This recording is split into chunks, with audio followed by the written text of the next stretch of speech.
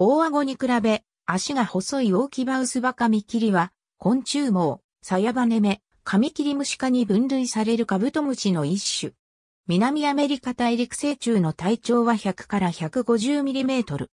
カミキリムシとしては非常な大型種で、その体長は最大種タイタンオウスバカミキリに次ぐ世界第2位である。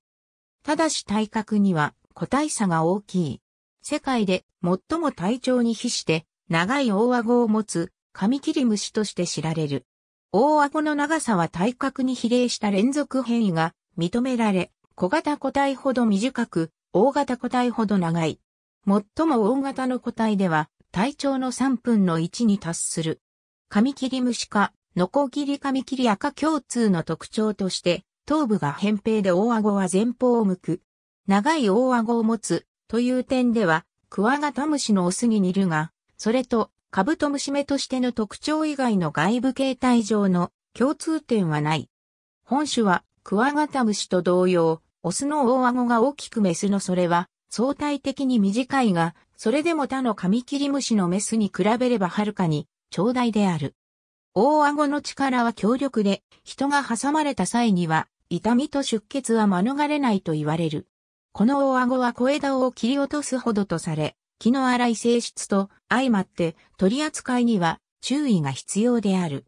ただ、この期間が彼らにとって本来から身を守る武器であるのかは確認されておらず、また、主としてどのような役に立つ道具として進化したものなのかは分かっていない。樹木の幹のような全種の色彩は保護色によるものと考えられているが、本種の個体数自体が少なく、研究が進んでいないため、生態の詳細は不明な点が多い。本種の生態に関しては未だ不明な点が多く、生活史のほとんどは判明していない。生息地では樹幹を歩行中の個体が発見されるほか、最終例として最も多いのは、伐採地で伐採材上を歩行したり飛行している個体、あるいは10日に飛来した個体が得られる場合である。成虫の後食も確認例は報告されていない。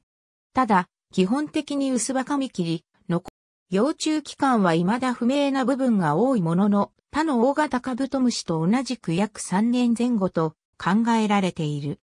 本種の幼虫は倒木の中から発見される例が多い。日本国内には同じノコギリカミキリア科の薄葉カミキリやノコギリカミキリ等が産する。いずれも比較的大顎が長く、また国産カミキリとしては大型である。